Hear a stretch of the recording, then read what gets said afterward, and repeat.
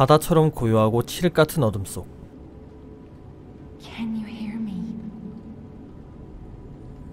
어디선가 들려오는 고혹적인 목소리에 제페토가 만들어낸 특별한 인형 피는 깨어납니다. 존재의 목적도 과거의 기억도 없이 깨어난 피. 어째서인지 자폭 스위치가 존재하는데.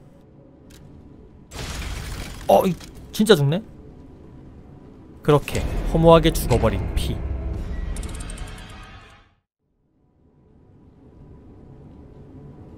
하지만 이상하게도 피는 다시 일어서서 동작할 수 있었습니다. 램프 속에 든 귀뚜라미 인형 제미니와 조우한 피는. 자신을 깨운 소피아를 만나기 위해 들뜬 코를 진정시키며 크라트 호텔로 향합니다. 19세기 어느 해안가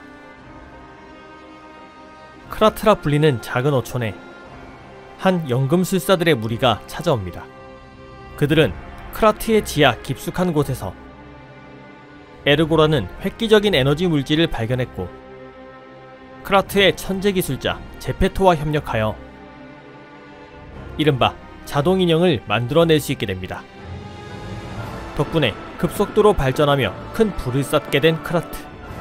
진화를 거듭한 자동 인형 제작 기술은 어느덧 인간을 대신할 수 있는 수준까지 도달했는데 바로 그때 갑자기 폭주해 인간들을 사냥하기 시작한 인형들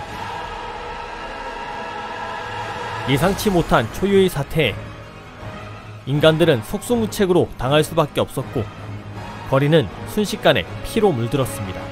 몸을 숨긴 시민들은 도움을 기다렸지만 크라트의 무사계급 스토커들조차 전멸 위기에 놓여버린 최악의 상황.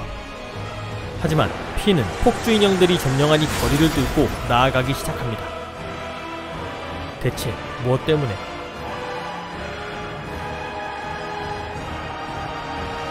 썸녀가 호텔에서 부르는데 이걸 안 가?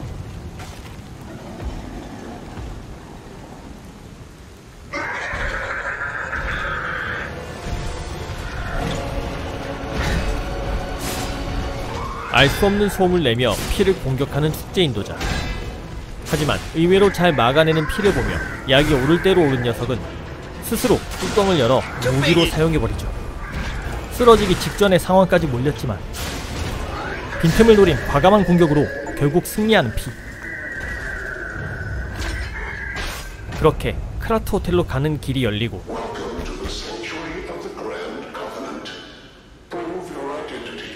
다짜고짜 피의 정체를 묻는 호텔 보안 장치.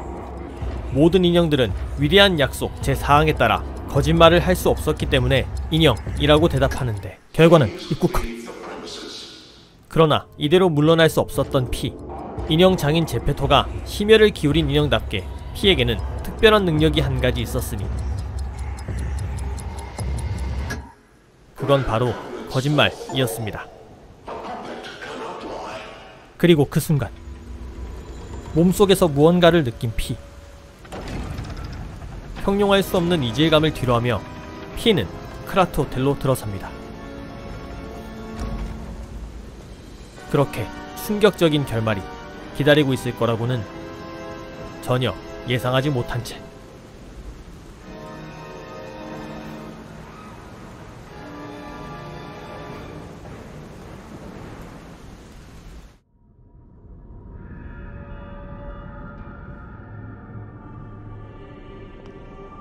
옅은 미소를 머금고 우아하게 다가오는 한 여성.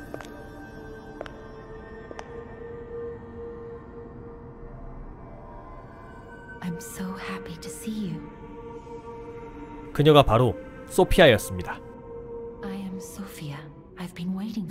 어머니로부터 물려받은 듣는 자의 능력으로 인형들과 대화할 수 있었던 그녀는 도움을 요청하기 위해 피를 깨웠고 우선 제페토를 찾아달라고 부탁합니다. 한편 호텔에는 다른 이들도 있었는데 그 중에는 지배인 안토니아도 있었습니다. 몸이 서서히 굳어가는 일명 화석병에 걸린 그녀는 피에 대해 뭔가 아는 눈치였고 누군가의 추억이 담긴 옷도 한 벌 선물해 줍니다. 옷을 갈아입은 후 피아노를 만져보는 피. 알 수 없는 익숙함이 있었지만 기억나는 것은 없었기에 우선은 제페토를 찾으러 길을 나섭니다. 아늑한 호텔 내부와는 달리 여전히 처참한 거리의 풍경. 전투용으로 개조된 왼팔인 리저남을 적극 활용해 인형들을 차례로 쓰러뜨리며 나아가는 피는 어째서인지 전투에 매우 능숙한 인형이었습니다. 하지만 그 외모는 사람과 너무 흡사해서 상인들조차 알아보지 못할 정도였죠. 다양한 종류의 인형들이 피를 막아섰지만 신상 무기까지 구입한 피는 거침이 없었습니다. 무기 수리도 직접 해버리는 클라스. 드디어 제페토의 흔적을 발견한 피. 하지만 웬 스토커가 제페토를 위협하고 있었고 심지어 피가 인형인 걸 알아차린 스토커는. 복수심을 불태우며 피를 공격합니다.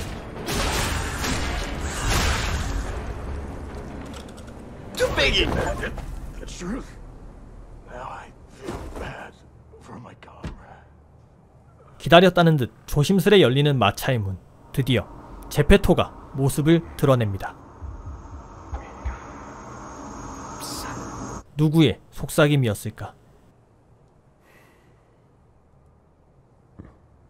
Finally, we meet. Son. It's a dream come true. Seeing you like this. 자신이 인형을 만든 장본인이기에 이 사태를 책임지는 것이 옳다는 제페토. 우선은 시청에 있는 인형을 처리해야 한다고 말합니다. 그리고 그 일은 피의 임무였죠. 이어서 손에 뭔가 잔뜩 쥐어주는데 애니그마 도구를 통해 무기를 분해하여 따로 조합할 수 있게 된 피. 보스전에서 조력자도 소환할 수 있게 됩니다. 제페토의 요청대로 시청으로 향한 피.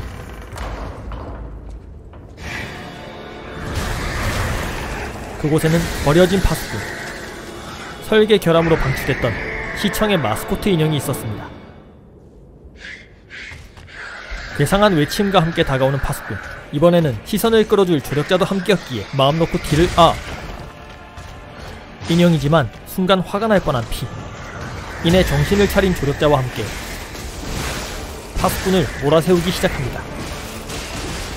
그렇게 마지막 공격까지 버텨내며 파수꾼을 제압한 피 아니 조력자. 어우씨 내 막타를 다시는 너 소환 안 한다. You saved Geppetto. Wonderful. 호텔로 돌아와 결과를 보고하는 피. 제페토는 위험한 임무 때문에 피를 걱정했다고 말하지만 바로 다음 임무를 줍니다.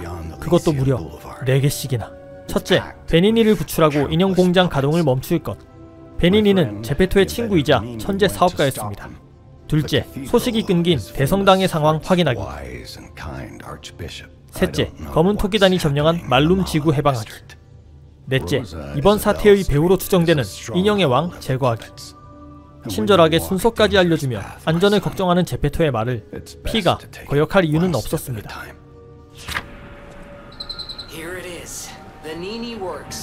우선 베니니를 찾아 공장으로 온 피는. 베니니의 호위를 맡았던 스토커 2인조. 여우와 고양이를 만납니다. 어딘지 뒤가 구린 인물들 같았지만 그들의 정보대로 베니니는 살아있었습니다. 제페토의 친구답게 피를 알아본 베니니는 공장을 장악해 인형 군대를 만들고 있는 푸오코를 처리해달라고 부탁합니다. 공장의 용광로로 진입한 피. 그를 기다리고 있던 왕의 불꽃 푸오코와 조우합니다.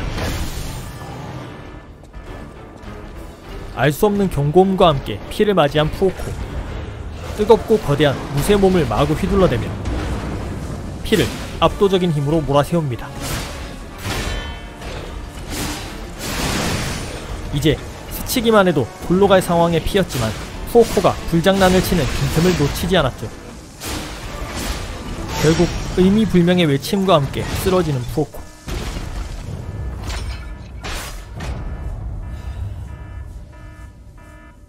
피의 활약으로 크라트 호텔에 합류하게 된 베니니. 크라트의 유명한 대부호이자 발명가였던 그는 피의 전투용 왼팔인 Legion Arm의 제작자이기도 했습니다. 하지만 그런 그에게도 아픈 과거가 있었으니 위대한 약속이 존재하지 않던 시절 자신을 살인마라고 주장하는 인형 알레키오에 의해 눈앞에서 부모님을 잃은 것이었습니다. 제페토의 요청대로 대성당의 상황을 확인하러 간 피. 어떻게 된 일인지 격렬한 전투가 벌어지고 있는 상황. 인형들에게 점령당한 줄 알았던 대성당은 사실 괴물들이 차지하고 있었습니다. 이 괴물들은 카커스라는 존재로 한때는 인간이었지만 잘못 조합된 화석병 치료제를 먹고 탄생한 변종 괴물들이었습니다. 그 와중에 운 좋게 살아남은 생존자와 만난 피. 어딘가 수상쩍은 그는 자신을 약제사라고 소개하며 화석병에 걸려 치료제를 찾고 있다고 말합니다. 당장은 지안조의 정체를 알 턱이 없는 피였기에 일단은 대성당 안으로 발걸음을 재촉합니다. 마침내 도착한 대성당의 최신부. 끔찍한 무언가가 피를 지켜보는데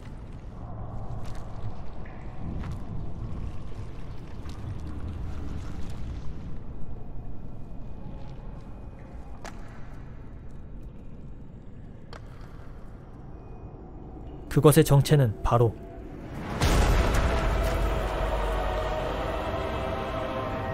틀림없는 대주교 안드레우스 만인의 존경과 사랑을 한 몸에 받았었지만 이제는 지옥의 악마보다 추하게 변해버린 그에게 다른 선택지는 없었습니다.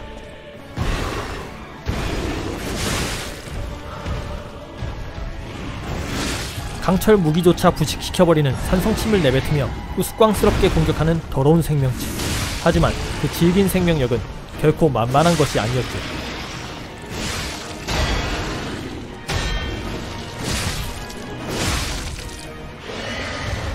해치웠나? 하지만 낌새가 이상한 안드레우스. 아니나 다를까 껍질 속의 진짜가 본 모습을 드러냅니다.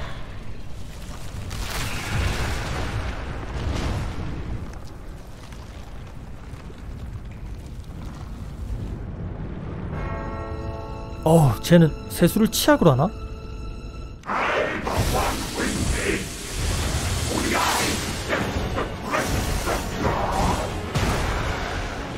도저히 성직자였다고는 믿을 수 없을 만큼 수악한 탐욕으로 뒤틀려버린 안드레우스. 수십 년 전 연금술사들의 크라트 정착을 도왔던 살아있는 역사적 인물이었지만 이제는 죽음조차 그를 구원할 수 없어 보였죠.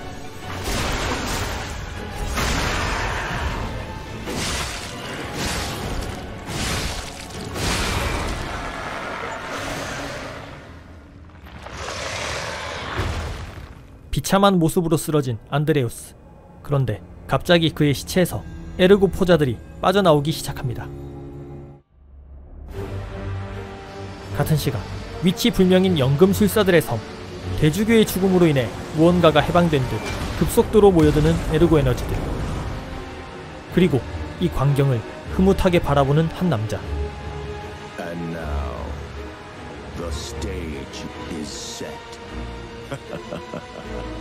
현 연금술사들의 수장 시몬 마누스 제페토의 옛 친구이자 동문 그리고 이 사태를 일으킨 장본인 중 하나였습니다. 대성당의 상황을 정리한 피 이번에는 검은 토끼단이 장악한 말룸 지구에 도착합니다. Oh. 우연히 다시 만난 여우와 고양이는 힘을 합쳐 검은 토끼단을 몰아내자고 제안합니다. 일단 고개를 끄덕이는데. 사실 큰 도움은 안 될 거라고 예상했던 피였지만 웬일인지 똥물까지 뒤집어쓰며 열심히 싸우는 그들 덕분에 피는 짭짤하게 보상을 챙깁니다. 하지만 아니나 다를까 막판에 내빼는 여우와 고양이 결국 피는 단신으로 검은 토끼단과 대적합니다.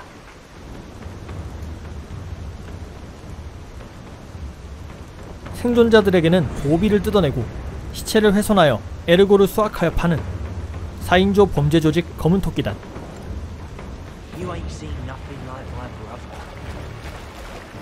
스토커 출신이었던 그들이었기에 명예롭게 한 명씩 전투에 임하는 모습을 보여주긴 개뿔 밀리니까 한꺼번에 덤비네 하지만 검은 토끼단이라는 이름답게 3분을 못 버티고 쓰러져 버린 마청.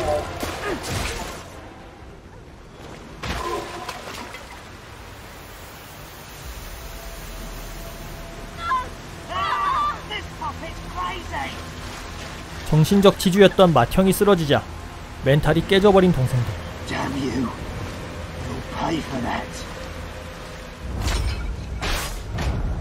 그렇게 그들은 일단 물러갑니다. 한편 검은 토끼단의 아지트를 수색하던 피는 의외의 물건을 발견하는데 Looks like you, sorta. From 그건 a 바로 certain angle. 카를로의 초상화였죠. 오래전 사고로 목숨을 잃은 카를로 그리고 그에 대해 말을 아끼는 제페토 풀리지 않는 의문을 뒤로한 채 피는 발걸음을 옮깁니다. 인형의 왕이 있는 곳으로. 전설적인 여배우를 배출한 문화 중심지이자 소피아의 어머니 이사벨 여사의 이름을 딴 장소 로사 이사벨 거리에 도착한 피는 곧장 인형의 왕이 있다는 대극장으로 달려갑니다.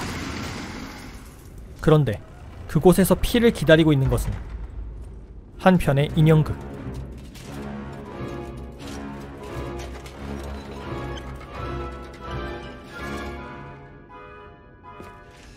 피의 심장을 꺼낸 제페토 인형. 그리고 깨어나는 또 하나의 인형.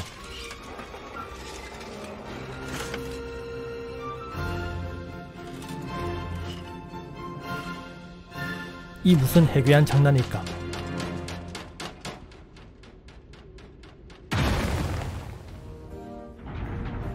공연의 피날레와 함께 등장한 인형의 왕.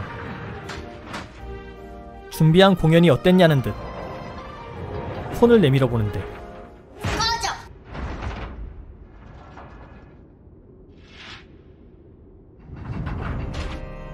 낮은 평점에 결국 그는 울고 맙니다.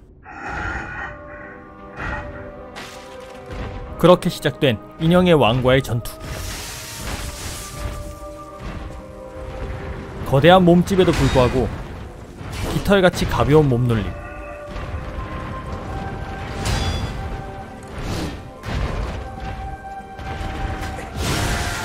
결코 쉬운 상대는 아니었지만 재빠르게 약점을 파악해낸 피는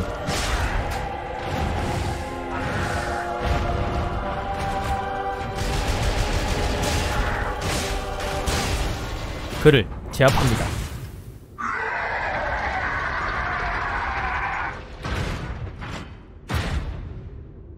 하지만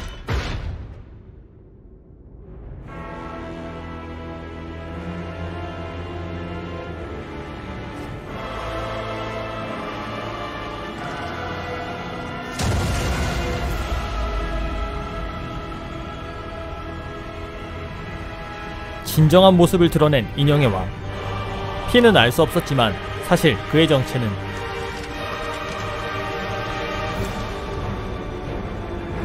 화석병으로 죽었다던 로미오. 카를로의 옛 친구였습니다.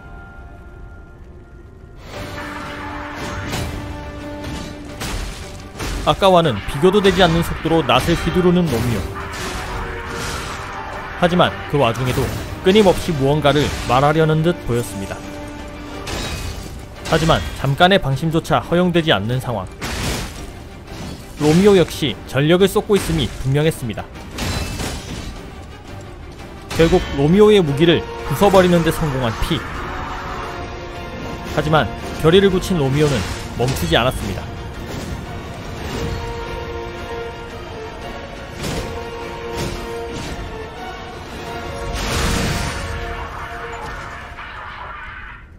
가까스로 인형의 왕을 쓰러뜨린 피.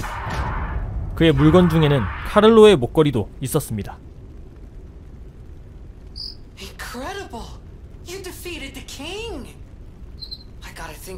Puppets will have changed too, right? I mean, there's only one way to find out. I'm glad you're safe. I was so scared. 어째서인지 직접 극장까지 찾아온 제페토. 이제는 인형이 아닌 화석병이 문제라고 말하며. 연금술사들과 치료제에 대해 조사해달라고 합니다. The grand exhibition.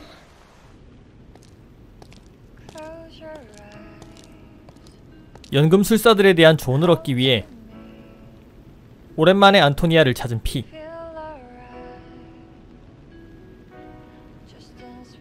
평소와 달리 생각이 많아 보이는데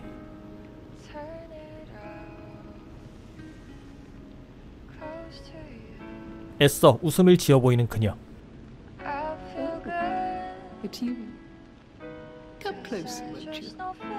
화석병으로 인해 그녀의 시간은 얼마 남지 않은 듯 했습니다. 아직 자신이 아름다운지 묻는 안토니아. 인형답지 않게 고민하던 피는 유부남이 될 자격을 얻습니다. 이어서 소피아를 찾아간 피. 그녀는 카를로가 로미오에게 준 목걸이를 알아봅니다. 그리고 그때 이상한 일이 일어나는데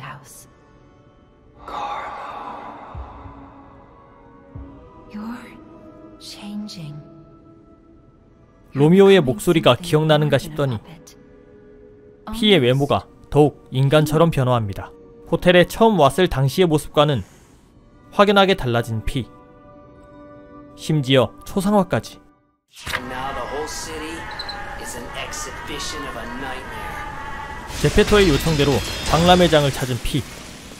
폭주한 인형들을 끌고 나가며 연금술사들과 치료제의 흔적을 찾아보는데 치료제는커녕 발견되는 거라곤 오히려 정체를 알 수 없는 이상한 괴물들 뿐이었습니다.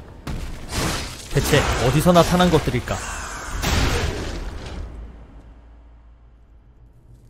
피는 곧 해답을 찾을 수 있었습니다.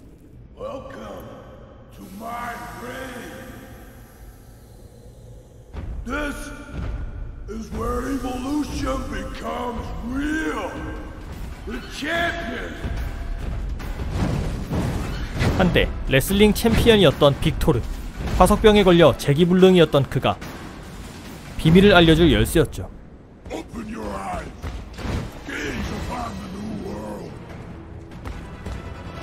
링 위에 챔피언 출신답게 격투기를 구사하는 빅토르. 가드를 뚫고 들어오는 묵직한 주먹은 충분히 위협적이었지만 인형의 왕에 비하면 별것 아니었습니다. 구겨진 챔피언의 자존심. 연금술사들이 엘릭서라고 부르는 정체불명의 액체를 원샷해버린 빅토르는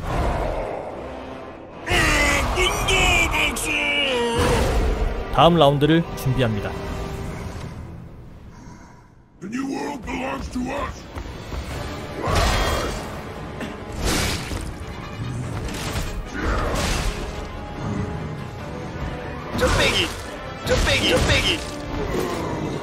파워에이드를 먹고 확실히 세진 빅토르. 레슬러다운 쇼맨십과 여유까지 보여주는데 방어용 Legion Arm 이지스로 공격을 버텨내기 시작한 피는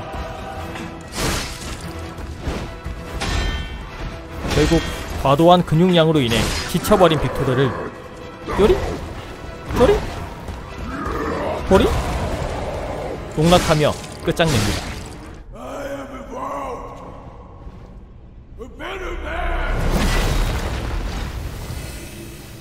실패작의 최후. 그 뒤로 등장한 것은 이 모든 일의 배후에 있던 연금술사들의 수장 시몬 마누스. 한때 제페토와 가까운 동료였던 그는. 화석병으로 인류를 강화시킬 수 있다고 믿었고 인체 실험을 통해 카커스는 물론 빅토르까지 만들어낸 것이었습니다. 그리고 밝혀지는 화석병의 비밀. 화석병은 단순한 전염병이 아니었습니다. 그 병은 육체를 점차 돌처럼 굳혀버리지만 동시에 그 인간의 시간과 기억을 응축시켜 에르고 상태로 변환하는 것이었죠. 즉, 피를 움직이는 에르고 역시 어떤 인간으로부터 나온 것이었습니다. 그렇게 호텔로 돌아온 피는 소피아에게 더 많은 정보를 듣게 되는데 자아를 각성한 인형들이 한때 인간이었다는 것, 화석병 치료 과정에서 강화 인간을 만들 수 있다는 것, 그리고 인형의 왕과 그의 군대는 사실 시몬을 막으려던 거였다는 것까지 여전히 많은 의문이 남아 있었지만 시몬을 막기 위해서는 우선 그들의 숨겨진 섬까지 갈 수 있는 이동 수단도 필요했습니다. 연금술사들을 위해 잠수함을 만든 적이 있던 베니니는 불모의 늪에서 금색 에르고를 찾아오면 잠수함을 움직일 수 있다고 말하는데 베니니가 우려했던 대로 이 금색 에르고는 쉽게 얻을 수 있는 것이 아니었습니다. 인형 폐기장에 아예 둥지를 틀고 버려진 인형의 에르고와 신체를 먹으며 끔찍하게 자라난 이 괴물이 금색 에르고를 지니고 있었기 때문이죠.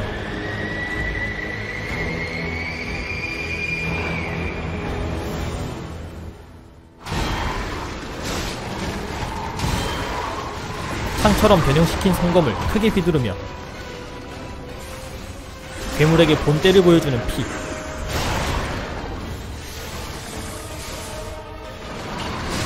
하지만 괴물은 쉽게 지치지 않았습니다.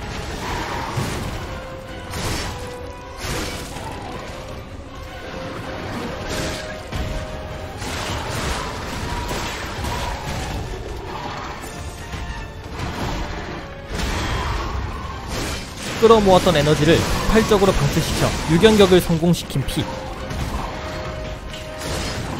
괴물은 드디어 쓰러집니다.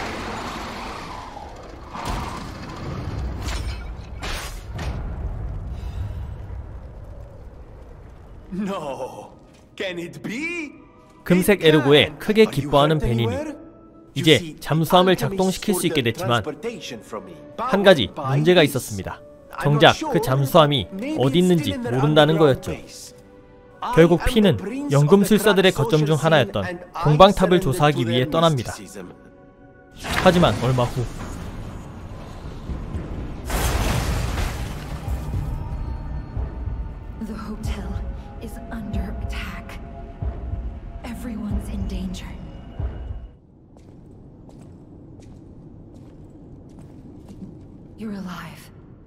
I was worried because I didn't hear from you. 이미 납치된 제페토. 검은 토끼단은 물론 The cat and 여우와 고양이까지 범행에 가담한 상황 불행 중 다행으로 나머지 인원들은 무사했습니다. I'm sorry, child. Geppetto has been kidnapped. 성당에서 만났던 약제사 지안주의 도움으로 잠시나마 병세가 완화된 안토니아는 숨겨왔던 사실을 하나 고백합니다. 그녀의 초상화가 사실은 비밀 통로라는 것. 그리고 호텔이 연금술사들과 거래했었다는 것.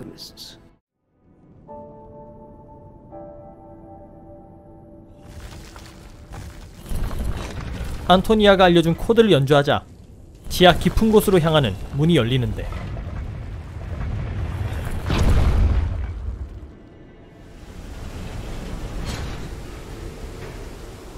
그곳은 바로 연금술사들이 에르고를 발견했던 일명 악마의 구덩이 트리스메기스투스의 유산이었습니다. 분명 잠수함도 이곳에 있을 터였지만 복수의 칼날 또한 피를 기다리고 있었으니 바로 검은 토끼단이었습니다. Accept your fate. Death has come for you. This is for my brother. I'm gonna rip your heart out. 예전과 달리 시작부터 전력을 다하는 그들.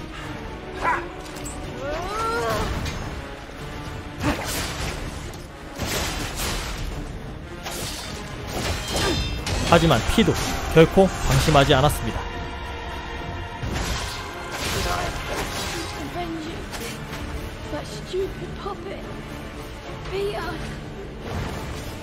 그런데 갑자기 되살아나는 막형.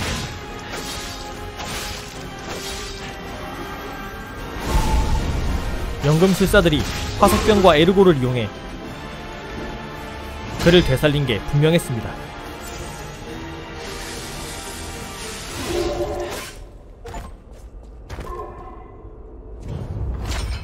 아, 그래도 이번에 3분은 넘겼다.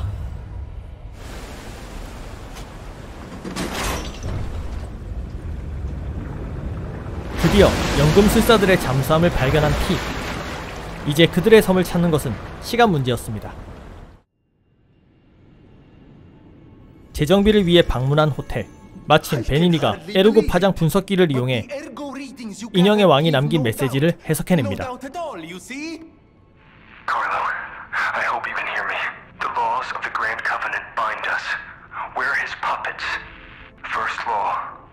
All puppets must obey their creator's commands.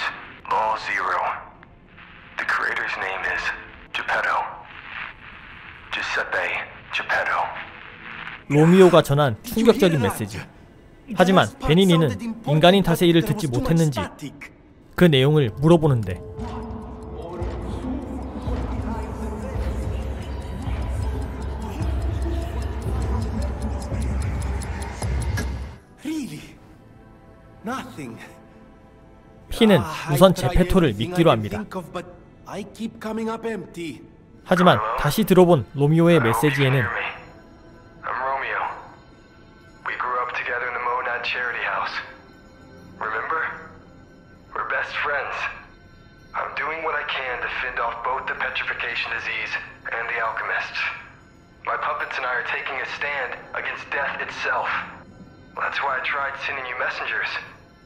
But you got rid of them all.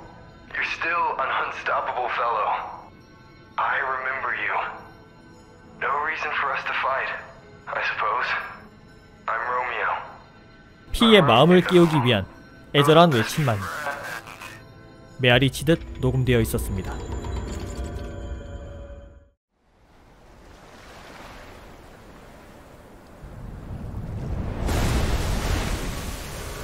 이제 진실을 확인할 방법은 하나뿐. What the? Hey, it's Sophia.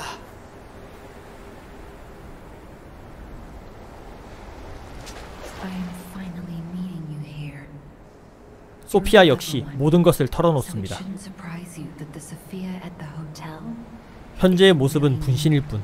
그녀의 진짜 몸은 시몬이 납치한 상태로 능력을 이용당하며 고통 속에 감금된 상태였습니다. 크라트의 오래된 가문에 전해지는. 듣는 자의 능력을 어머니로부터 이어받은 소피아는 에르고 그 자체와 소통할 수 있음은 물론. 그 속에 담긴 시간마저 통제할 수 있었습니다. 하지만 위대한 약속의 영향이었을까? 소피아의 부름을 들을 수 있었던 것은. 제페토가 위대한 약속을 새겨넣지 않고 만든 피밖에 없었습니다. 그렇게 피가 쓰러질 때마다 시간을 돌려 살려낸 그녀는. 마지막으로 하나를 더 부탁합니다. 자신을 발견하면 죽여달라고. 하지만 아무 대답도 하지 않는 피. 말없이 발걸음으로 옮긴 피는 섬의 해변가에서 카를로의 기억을 담은 에르고와 마주합니다. 늘 바쁜 아버지를 더 자주 보고 싶어 하던 어린 카를로.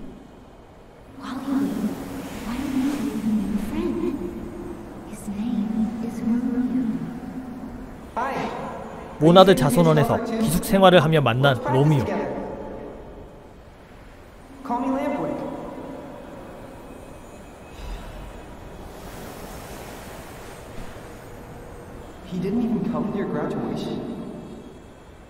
졸업식조차 오지 않은 제페토를 원망하는 카를로. Kicks the bucket. Don't say that. It's nice you got any family at all. Let's stop talking about this. Oh, she's here. Grab her. Please teach me how to use a sword. 훌륭한 스토커가 되고 싶었던 카를로. So annoying. Germany, get over it. I'm off.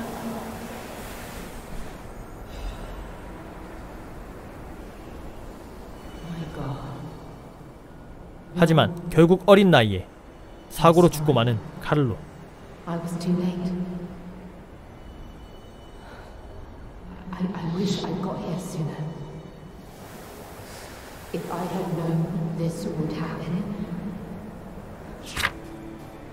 모든 것을 기억해낼 수는 없었지만 카를로에 대해 좀 더 이해하게 된 피는 그의 아버지 제페토를 찾아야만 했습니다.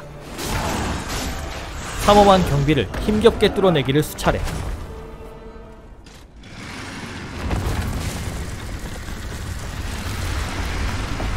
드디어 시몬의 탑에 도착한 피. 하지만 그 입구는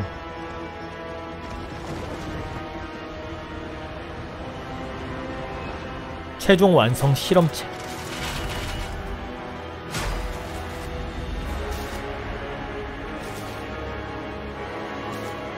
락사시아가 지키고 있었습니다. 빈틈없는 갑주와 거대한 대검.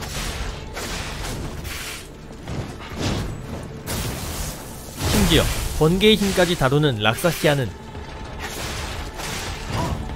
긴장을 늦출 수 없는 상대가 확실했지만 피 역시 인형의 한계를 넘은 진화를 겪었기에 그 어느 때보다 강해져 있었습니다.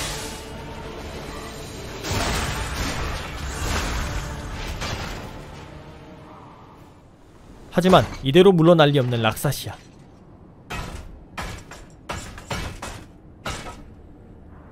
Oh, Simon. 어? 여자였네?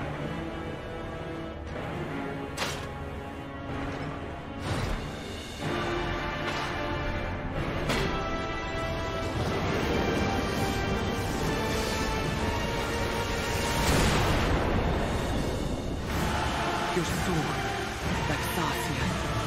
swears to protect this tower.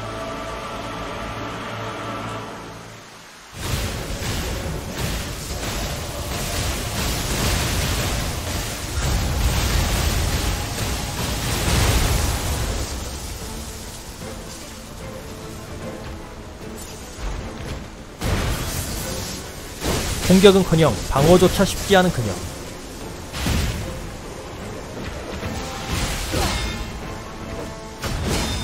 하지만 다행히 락사시아는 물몸이었고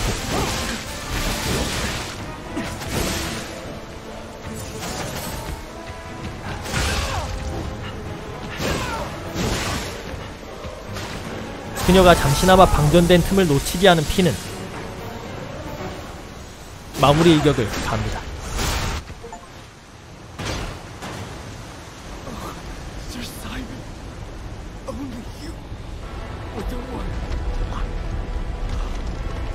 드디어 마지막 장애물이 사라지고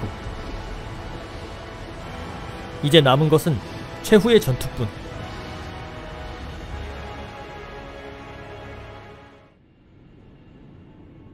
마지막 정비를 위해 호텔에 들른 피. 그런데 안토니아의 모습이 보이지 않고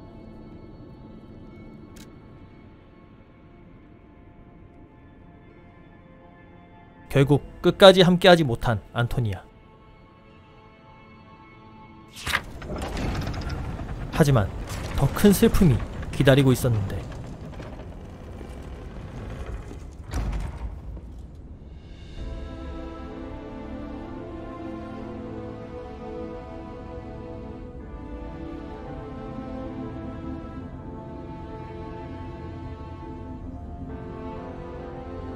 처참한 모습으로 탑에 갇혀 있는 소피아.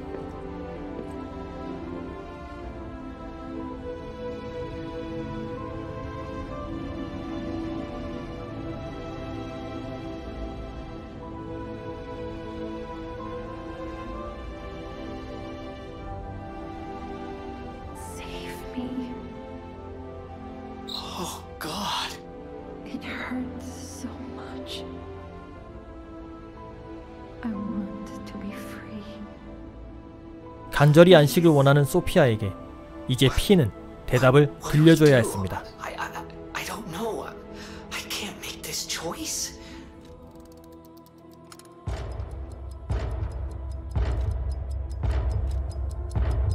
결국 피는 그녀의 부탁을 들어주기로 합니다. 자신의 에르고를 가져가 달라는 소피아.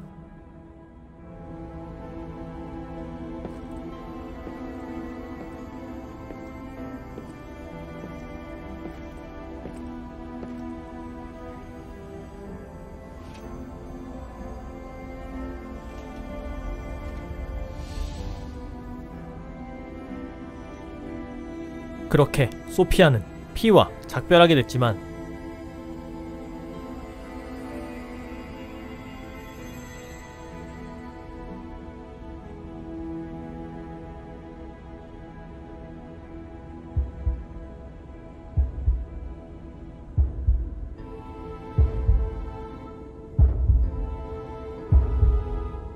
피의 심장 속에서 함께하게 되었습니다.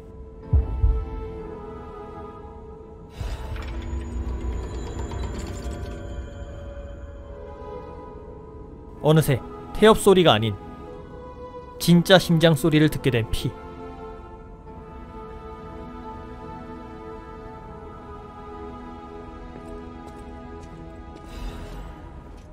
탑의 한 켠에서 시몬 마누스의 기록을 발견한 피. 그는 순수한 인간이 아니라 만들어진 존재였고 타인의 마음을 읽을 수 있는 능력을 갖고 태어났기에 자신을 실패작이라 여기는 창조주에게 큰 상처를 받습니다. 그렇게 거짓과 위선으로 가득 찬 세상을 혐오하게 된 그는 막대한 에르고와 화석병, 엘릭서를 통해 스스로 신이 되고자 했습니다.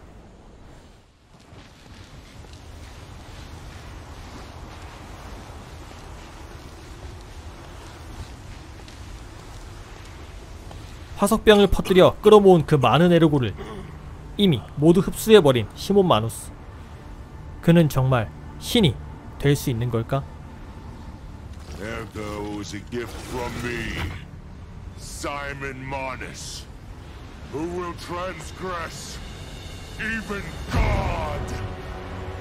Bow down to your God, who will be born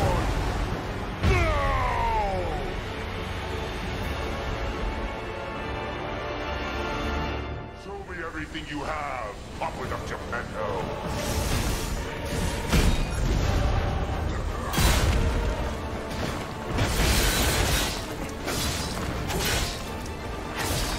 아직 힘이 완전히 각성하지 않은 것처럼 왼팔을 감싸둔 채 오른손으로만 싸우는 시몬은 본인의 몸조차 제대로 가누지 못했습니다. 하지만 흡수한 에르고의 힘은 건재했기에 결코 쉽게 쓰러지지 않는 그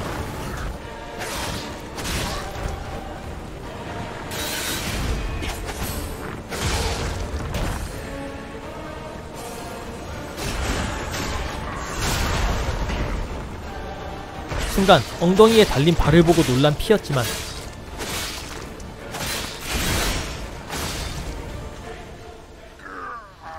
그를 꺾는데 성공합니다. 하지만 충분히 시간을 벌어낸 시몬.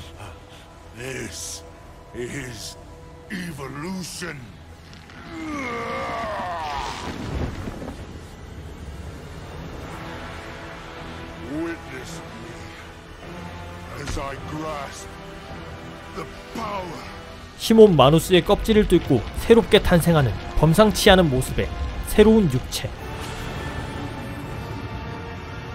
그것은 진짜 신이었습니다.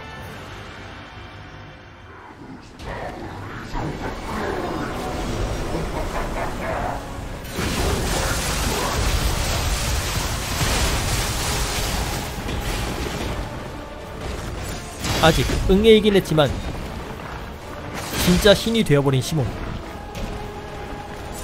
그의 빛나는 왼쪽 팔은 연금술사들이 성물로 모시던 신의 팔, 즉 신의 일부가 현현한 것이 확실해 보였습니다. 하지만 아직 그 힘을 완전히 깨우치지 못한 시몬.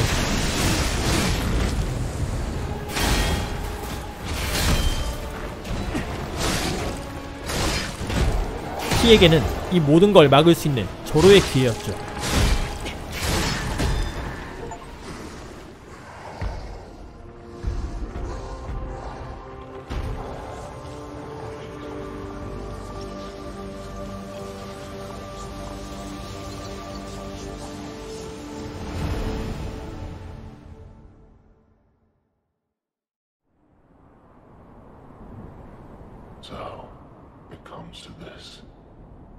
소피아가 피의 시간을 되돌린다는 것을 이미 알고 있었던 시몬.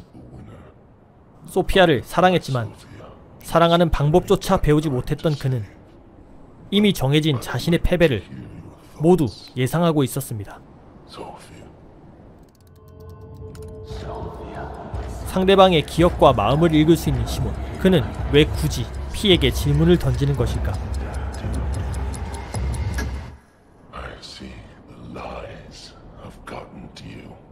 자신을 편견 없이 대했던 소피아를 회상하는 시몬.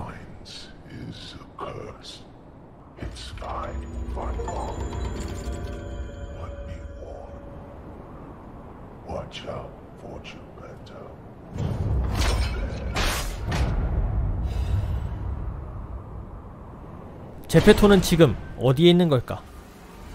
시몬의 소멸과 함께 활성화된 엘리베이터는 피를 지하 깊숙한 어딘가로 인도합니다. 그곳에서 만난 제페토. 갑자기 카를로를 되살리겠다고 하는데 필요한 재료는 신의 팔과 막대한 양의 에르고 그리고 마지막 한 가지 카를로의 에르고가 담긴 피의 심장이었습니다.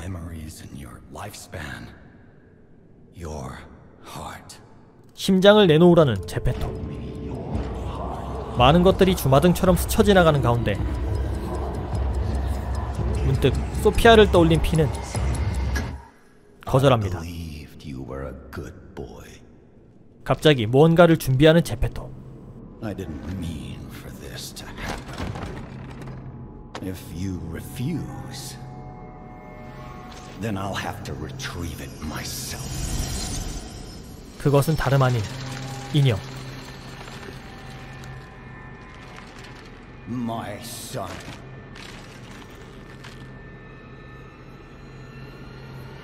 피보다 먼저 만들어졌지만 기술적 이유로 봉인해뒀던 카를로의 새 육체였습니다. You can become a real human. Come to me, my son.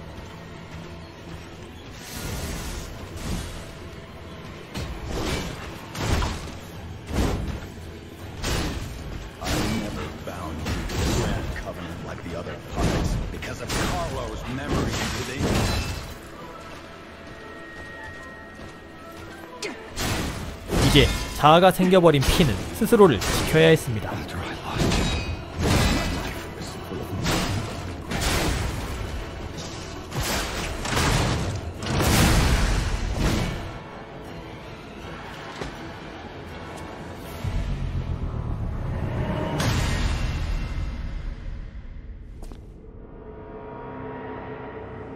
해치웠나?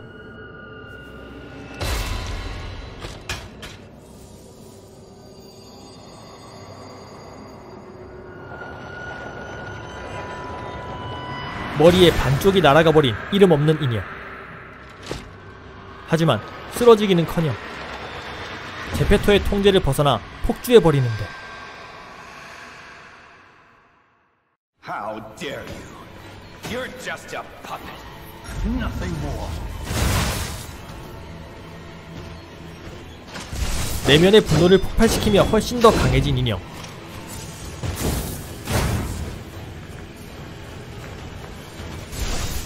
피 역시 질 수 없다는 결의를 다집니다.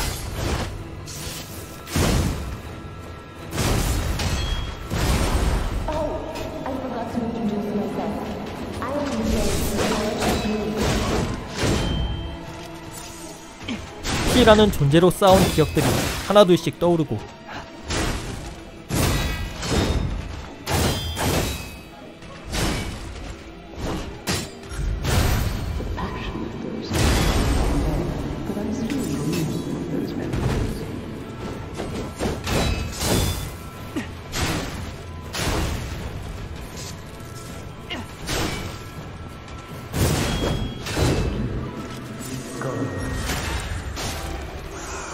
좀처럼 끝나지 않는 미래를 건 치열한 사투.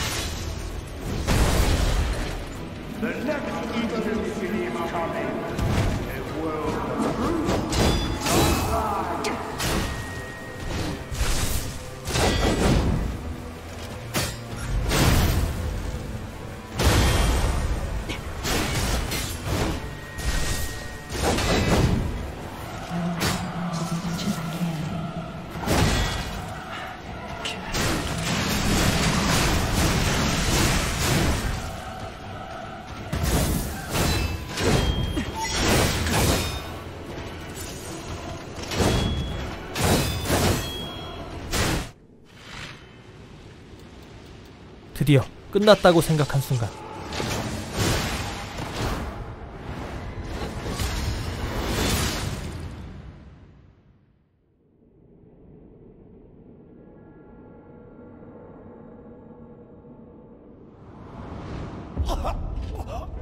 피해를 지켜낸 제페토 대체 왜?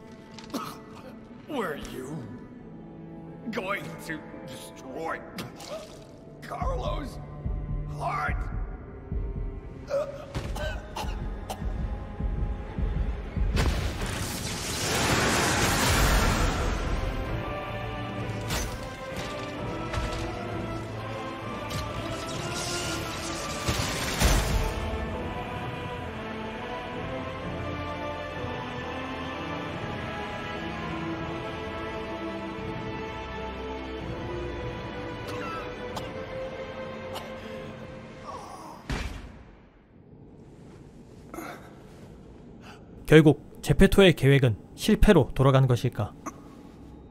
원망의 눈길을 보내는 제페토. 그런데 그때 피의 눈에서 눈물이 흐르고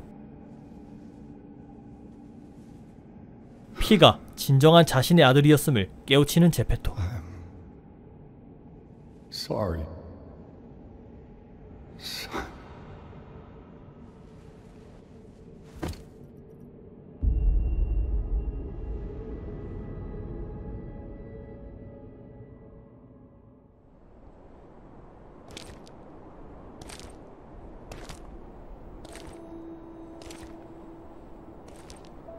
소피아를 꼭 닮은 인형. 소피아를 사랑했던 시몬이 이 이야기의 결말을 예상했기에 미리 준비해둔 것일까? 피는 조심스레 그녀의 에르고를 인형에 이식합니다.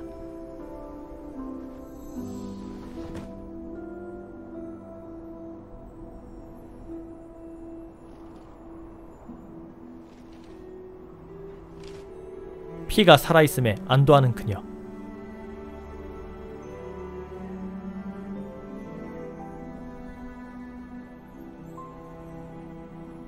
그리고 둘의 첫 만남 때처럼 It's so good to see you.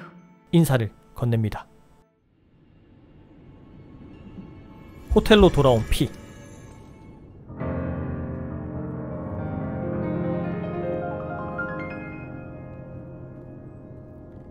카를로의 기억을 완전히 되찾은 것인지 이제 그의 내면은 한없이 인간에 가까워졌습니다. 그러나 그의 몸은 여전히 인형인 상태. 피는 진정 인간일까? 인형일까?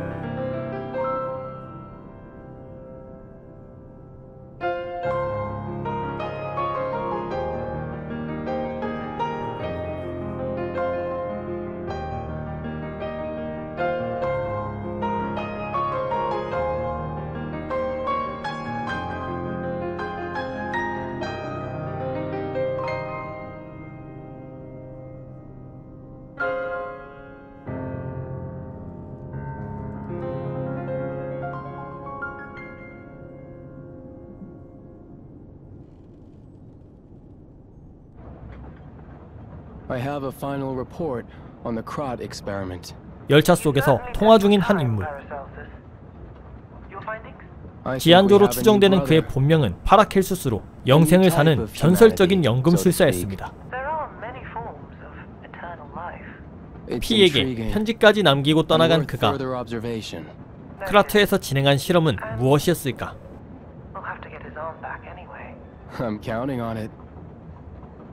Expect another report at the next meeting. Paracelsus returning. Ah, 그리고 또 하나. and when I return, I will find her. Another key of ours. Dorothy.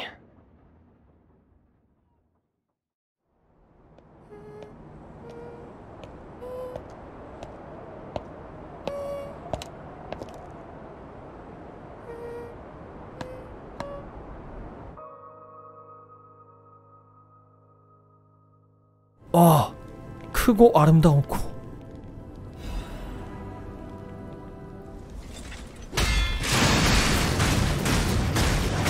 위의 차는 이거다.